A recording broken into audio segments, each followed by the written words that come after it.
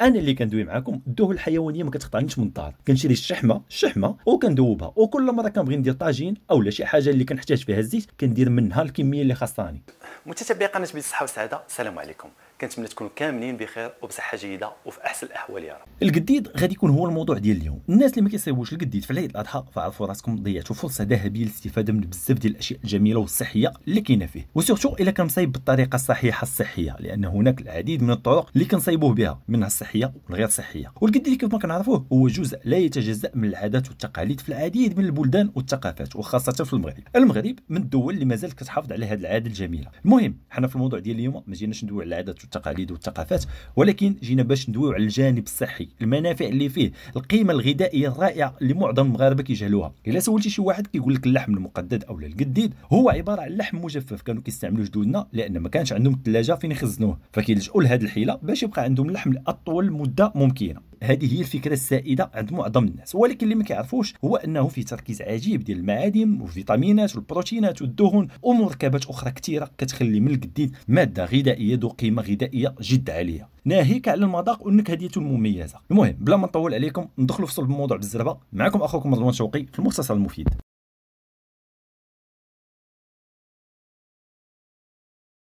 أول معلومة اللي غادي نبداو بها واللي غادي تعجبكم هي الهرمونات والمضادات الحيوية اللي معظم اللحوم اللي كتدور في الأسواق الموجهة للاستهلاك مشبعة بهم. وهذا الشيء كلشي كيعرفو ولهذا كنحذروا الناس من استهلاك اللحوم لا الحمراء ولا البيضاء. وهادو بجوج دوينا عليهم في حلقات متفرقة. فاش كنستهلكوا اللحوم فانت بلا ما كتحس كتستهلك مع des antibiotiques و des hormones اللي موجودة في الأنسجة ديال العضلات اللي كنستهلكوها على شكل اللحوم. هنا في le cas ديال القديد أو اللحم المقدد العملية ديال التجفيف كتقضي تماما على هاد المصائب. اللي كنحذروا الناس من استهلاك اللحوم على قبلها. يعني القديد ما فيش مشاكل. يمكن لك تستهلكه بدون ما تخاف من هذه المضادات الحيوية والهرمونات الصناعية إلى آخره. يمكن لنا ناكلوه بعيننا مغمضين. وهذه هي أول حاجة إيجابية كاينة في القديد. النقطة الثانية اللي كتعطي للقديد واحد الميزة رائعة أحسن من اللحم الخضر هي تفاعل مايارد أو لا Maillard reaction أشنو كيوقع في التفاعل؟ الأحماض الأمينية اللي كتشكل لنا البروتين كتفاعل مع السكريات المختزلة اللي كاينة في اللحم. بحالاش بحال الجلوكوز والفركتوز؟ إمتى؟ فاش كتعرض لدرجة حرارة مرتفعة. وهذا التفاعل كينتج عليه مركبات جديدة. هذه المركبات كتخضع في مرحلة ثانية للترتيب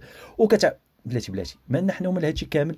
المهم عندنا هو أن من بعد عدة مراحل اللون ديال اللحم كيتحول للون بني داكن. وهذاك اللون هو اللي كيعطي للقديد ديك النكهة الفريدة من نوعها اللي كلنا كنحماقوا عليها. زائد أن السكريات اللي تقدر تطلع لينا l'index glycémique وهادشي بطبيعة الحال اللي كيشكل خطر على الناس اللي كيعانيوا من السكري والضغط إلى آخره كنكونوا تهنينا منها في هذا التفاعل. يعني إلا خدينا نفس الكمية من اللحم خضر والقديد مؤشر نسبة السكر في الدم غادي يكون بيناتهم فرق كبير. القديد المؤشر ديالو غادي يكون منخفض منخفض بزاف على اللحم العادي. النقطه الثالثه اللي كتخلي من اللحم المجفف أو الجديد مادة غذائية رائعة هي البروتينات. البروتينات اللي فيه ماشي بحال البروتينات اللي كاينة في اللحم العادي. لأنها كتعرض لواحد التغييرات كيميائية وفيزيائية مما كيخليها أكثر تركيز وامتصاص. يعني كتولي أسهل في الامتصاص وما كتعذبش الجهاز الهضمي في الهضم. البروتينات اللي كاينة في الجديد كيستافد منها الجسم أكثر من اللحم في صيغته الطبيعية. أول تغيير كيميائي هو الديناتوريشن. كيف ما كنعرفوا البروتين كيتكون من سلسلة ديال الأحماض الأمينية مطويه في أشكال الأبعاد.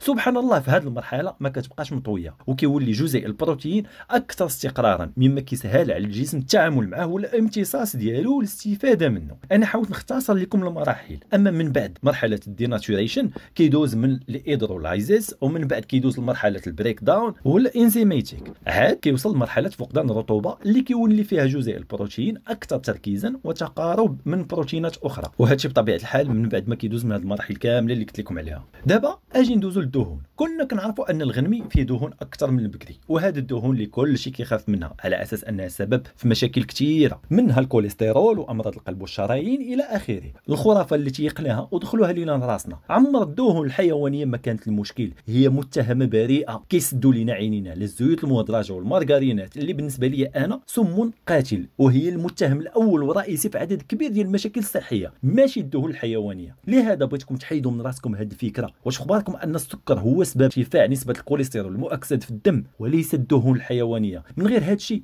الدهون اللي كتكون في اللحم عند التجفيف كتعرض للأكسجين اللي كاين في الهواء وهنا كتبدأ بعض التفاعلات اللي كتغير من التركيبة ديالها. أما أشعة الشمس فهي كتسرع من تحلل هذه الدهون إلى أحماض دهنية وغليسيرول سهلة في الهضم وكيسهل الجسم التعامل معها. أنا اللي كندوي معاكم الدهون الحيوانية ما كتقطعنيش من الدار كنشري الشحمة الشحمه وكندوبها. وكل مرة كنبغي ندير طاجين اولا شي حاجة اللي كنحتاج فيها الزيت كندير منها الكمية الكميه اللي خاصاني كتعطيني واحد الطاقة ونكهه للاكل ما شاء الله. من غير البروتينات والدهون اللي كاينة في القديد اللي كتعطي للجسم طاقة ما شاء الله القديد فيه كذلك تركيز جد عالي ديال المعادن الرئيسية والأساسية للجسم. أول هذه المعادن هو الحديد. شكون فينا؟ في هذا الوقت ما عندوش نقص الحديد. وهذا الموضوع على ما أظن دوينا فيه بما يكفي. كاين فيه كذلك تركيز كبير ديال الزنك المغنيسيوم الفوسفور البوتاسيوم السيلينيوم النحاس الصوديوم. آه الصوديوم هذا النسبة ديالته كتكون مرتفعة بزاف. علاش؟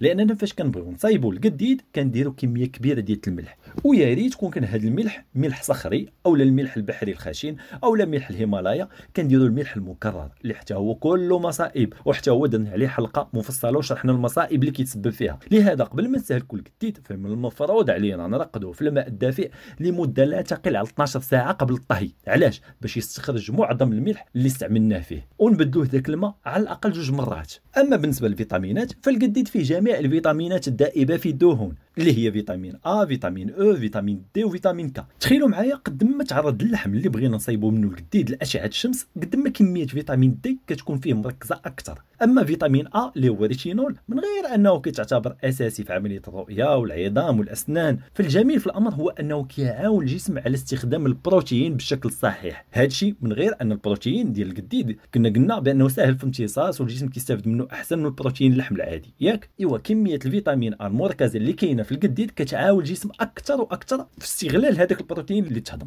أما بالنسبة للفيتامين ك عندها علاقة تآزرية كيف ما كنقولوا مع فيتامين دي. جميع المكملات الغذائية ديال فيتامين دي كتلقى معها فيتامين ك لأن فيتامين دي ما كيقومش بالعمل ديالو إلا ما كانش فيتامين ك لا بالنسبة للمناعة لا بالنسبة للقلب والأوعية الدموية لا بالنسبة لتنظيم الكالسيوم في الجسم إلى آخره. المهم خدامين بجوج. من غير فيتامين ا و أو و دي و ك فيه تركيز ما شاء الله ديال فيتامينات المجموعة باء في فيتامين بي 1 بي 2 بي 3 بي 5 بي 6 بي 7 بي 9 و بي 12 فيتامينات المجموعه باء أو B complex كتلعب أدوار حساسة واساسيه في تحويل الطعام إلى طاقة. تكوين خلايا الدم جديدة المناعة صحة العيون الجلد la fertilité وخصوصا خصوصا دعم الجهاز العصبي المركزي. شتي من فيتامين بي 1 حتى الفيتامين بي 12 خدامين بحال شي équipe. ورشة إصلاح وحمايه من الدماغ إلى آخر نهاية عصبية عندك في الجسم ديالك. عندهم علاقة بإنتاج الميالين إنتاج الناقلات العصبية والتحكم في سرعتها. كيحميوها كذلك من الإجهاد التاكسدي الالتهابات المهم كل ما له علاقة بالأعصاب كيصلحوه في فيتامينات المجموعة باء كيف ما كتشوفوا في الاستطلاع ديال الرأي 75% من المتابعين ديالنا عزيز عليهم الجديد و25% ما كيعجبهمش. بالنسبة للناس اللي ما كيعجبهمش